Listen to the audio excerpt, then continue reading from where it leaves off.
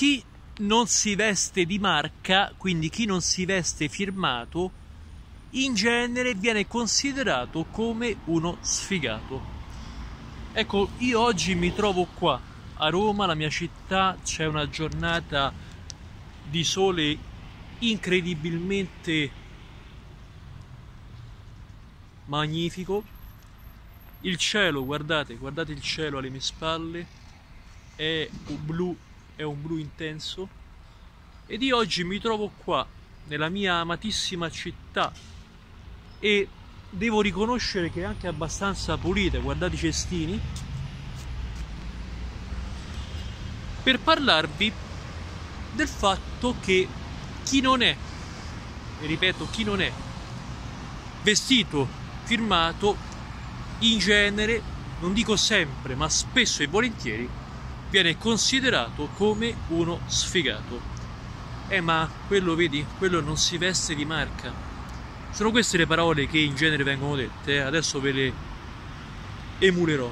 Eh ma vedi?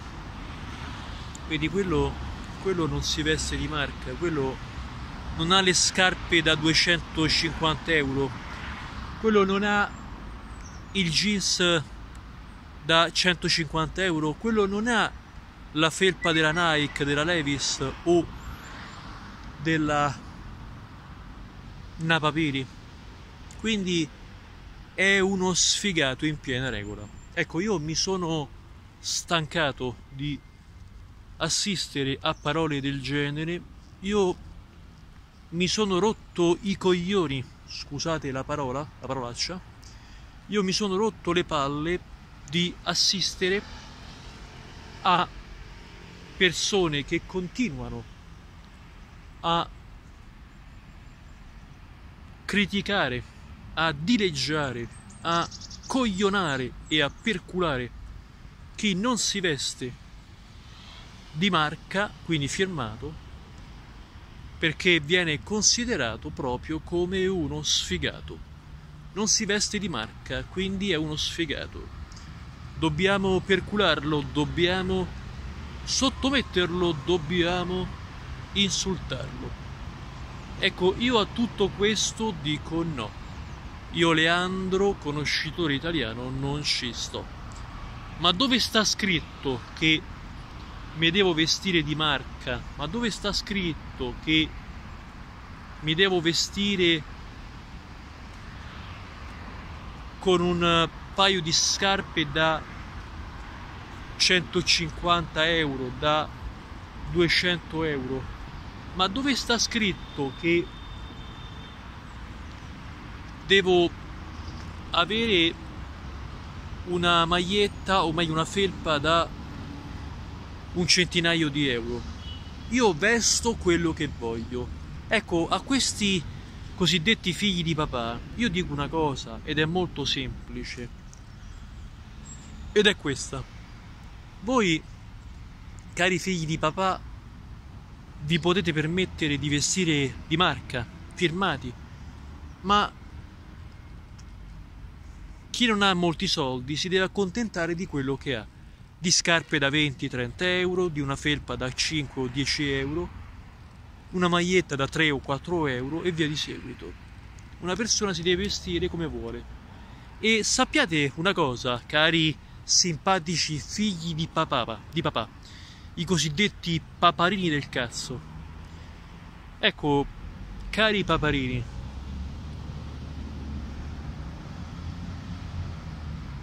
sappiate che non è il vestito che fa il monaco.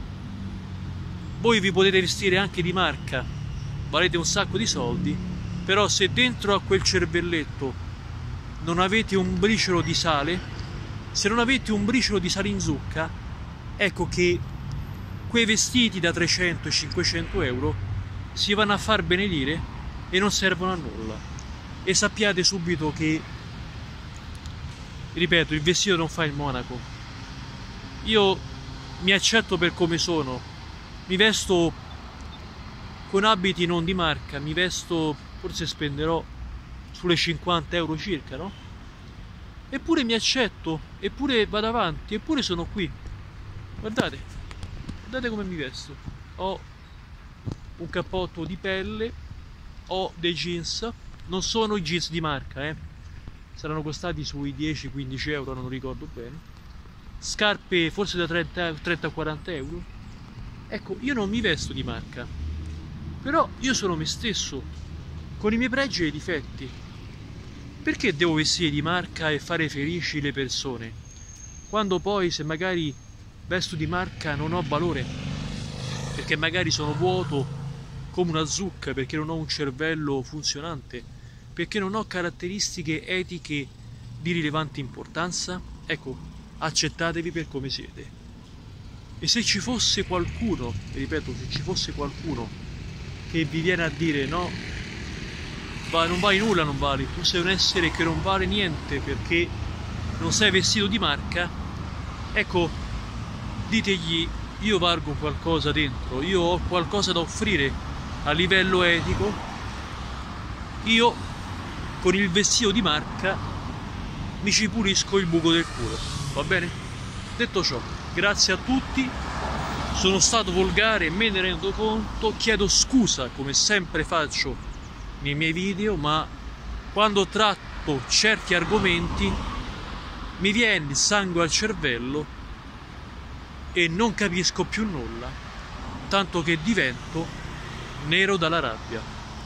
E da Leandro, conoscitore italiano, è tutto. Iscrivetevi se vi va commentate. Un saluto caro e al prossimo video.